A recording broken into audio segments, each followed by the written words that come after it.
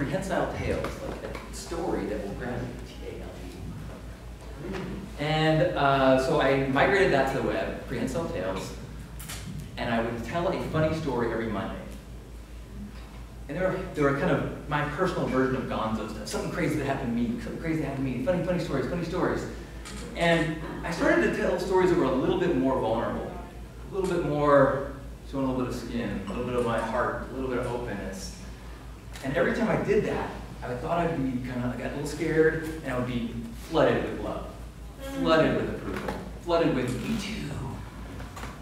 And this thing that I thought would make me weaker as I expose all these faults of mine made me powerful. As, and suddenly I realized these things that, that, that I used to be so afraid of had no power once I shined a light on them. I used to be so deathly afraid that people would find out that I went to a tanning salon and wore, wore makeup because of my complexion. And then once I said, uh, oh yes, I also wear this makeup, and then someone said, dude, you wear makeup. Like, I just said that.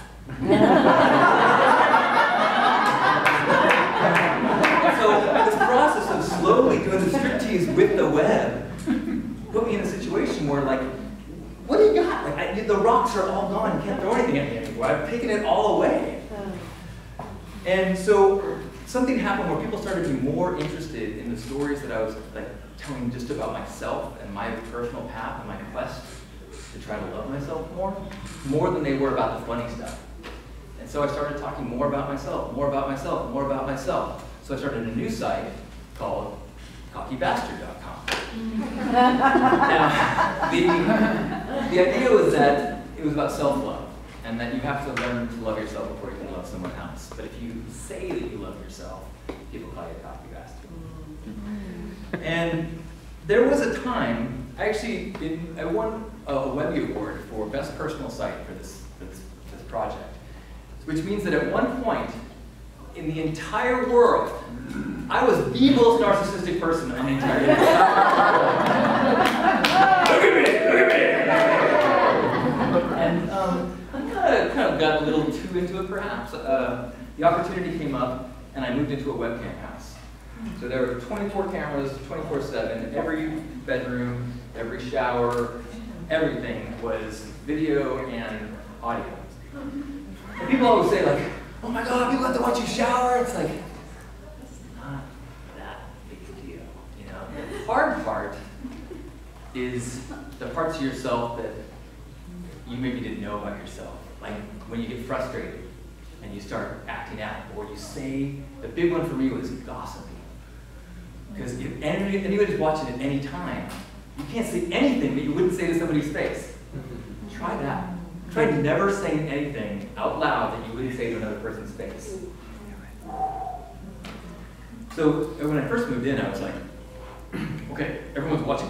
I'm going to enunciate and I'm going to uh, carry around a book that I think will make me look good. After 24 hours, I was like,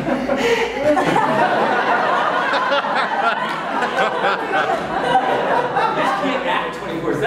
At some point, you just gotta surrender. So I went through this like intense, rapid psychotherapy where I'm like, am I at peace with who I am in the world? Like, you could take a piece of it, you could take a clip and you're going to catch me picking my nose, you're going to catch me washing something awkward. But if you took me in a 24-hour period, am I at peace with who I am in the world? And anything I'm not, I got to fix fast because it's being archived.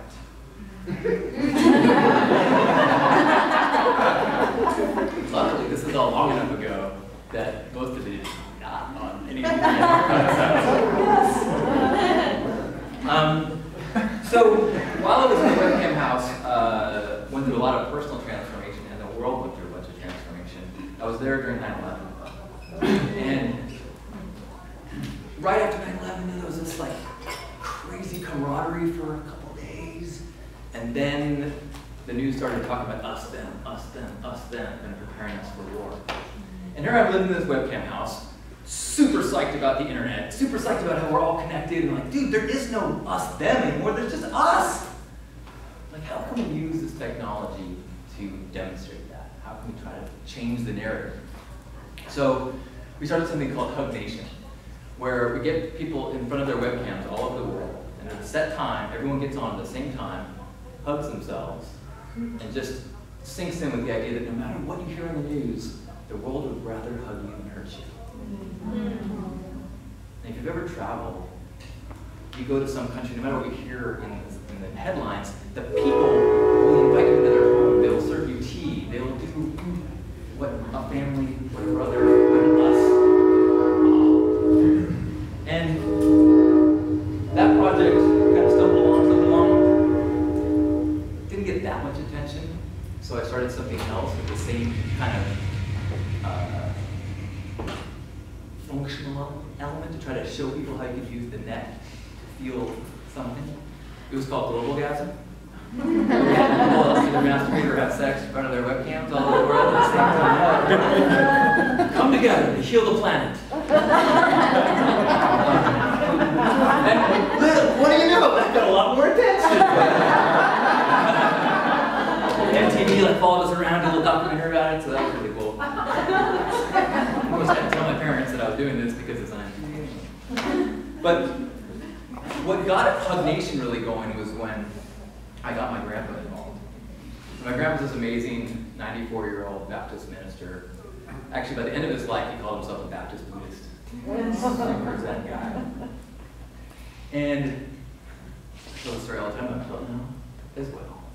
Uh, I went to go see him after my grandmother passed, and he was a ministry, helped thousand people go through transition, but this was his partner of 65 years, and his driver, because he kind of had this feeling that God would help him get through intersections, and the DMV is very clear that that's not acceptable. and so I went to go see him, I'm like, hey, Grandpa, how's it going? He said, Did you know that for four dollars I can get a shuttle anywhere in the city? It's like, I don't. Yes, so I, uh, I took the shuttle down to the market and I uh, had a list of things and I went to the woman behind the counter. I said, Excuse me, uh, my wife has recently changed her residence to heaven. Could you help me find a few things? I was like, Man, Grandpa, you always let me see the glass is half full. And he leaned back and he looked me in the eyes and he said, It's a beautiful glass.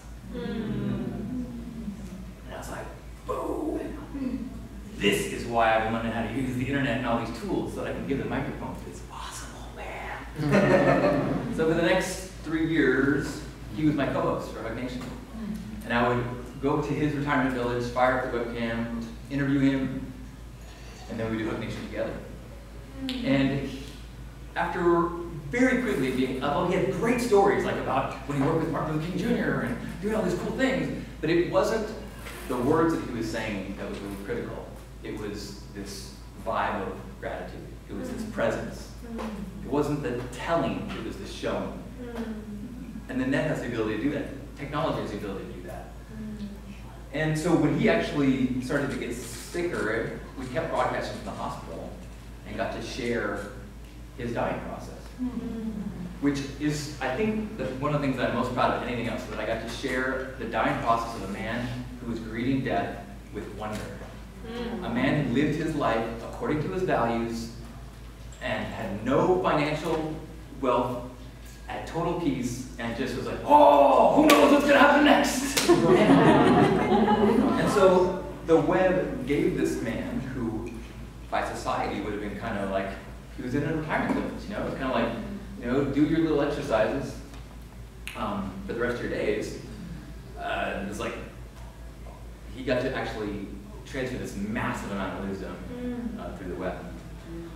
Um, when he died, I wasn't sure if I should keep going because uh, I'm kind of flawed. And so, but I did, and that has been a big part of what I do and share online is the journey and the dirt and the stumbles. As I said, when you let it all out and you're radically transparent, even though you show this weakness, you still can't get hurt. Um,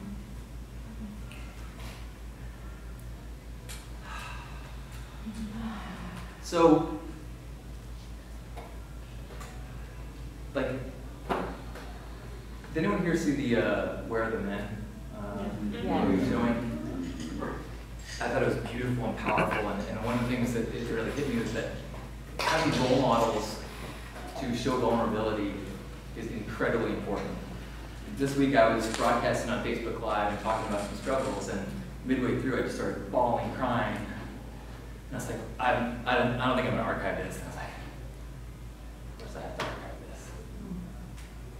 We're not here just to share awesome inspirational quotes and truths. We're here to share the journey. We're here to share um, this stuff. And I think what I've learned over the last 20 years of sharing this, the most, the most powerful feedback, the most emails I get, they go, oh my God, this changed my life, was when I didn't have a powerful message of inspiration, when I said, um, I stumbled too. I'm, I'm in the middle of something rough help me, walk with me as I kind of get out of the darkness. Mm-hmm. And I think that that's, if I have anything to, to challenge all of us, is that it is awesome that we have so many coaches. We also need role models that show that you're not always going to succeed. You're not always going to win. You're not always going to have everything go perfect. And maybe I'm not manifesting perfection, but it irks me when it becomes so taboo mm. to share your darkness. Mm. So, I want to encourage everyone to share a little bit of their Not in the wine, wine, wine, but in the, oh wow, I am a, I'm a warrior. And right now, I am battling some demons. I am battling some struggles. I'm battling some doubt. You will find you are far more powerful when you admit and welcome part of your journey. Mm. In addition to sharing the dirt, I think we need to share the exceptional light. Um, six years ago, came back from Burning Man, and well, been going for 18 years, but this was, we came back and said, how can I do uh, gifting in the world? And started a, went downtown with a Christian friend of mine, we started giving things out to the homeless. And he was like, let's not tell anybody about this. And I'm like, are you kidding me? I want to tell everybody about this. and there is a odd, you know, it's we we're discouraged from talking about acts of charity, acts of goodness. It's supposed to be like more honorable to do it quietly. Hmm.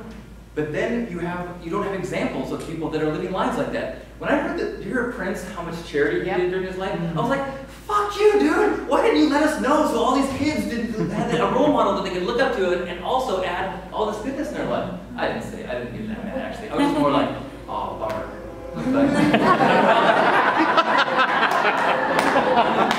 so now, this, this, this first Saturdays that, that we do every first Saturdays, we get 50, 100 volunteers, each one coming in and having an experience where they feel, learn how good it is to feel good. Um, I wanted to uh, I wanted to uh, also acknowledge one of the most powerful examples of sharing the journey and sharing um, uh, the decoupling of Eli and Betsy was, I think, so inspiring. If you haven't, I don't know if it's still online, I don't know if I should have even not mentioned that, but it, it was an example of opening your, their heart of, in, in a place that we often encourage people to either put on a happy face and say and have a script or not talk about it or fight or whatever, that they shared this truth in a way that inspired people to act. Too often, I think we tell people what they should do. Like people, God, Facebook me crazy when people sit and go, you need to do this. Oh man, animal chill. Like, don't tell me what to do. Do something awesome and inspire me to do it. Mm-hmm. And if you fail along the way, share that too. So look forward to seeing the awesome things you guys are doing. Yeah. Thanks for letting me share.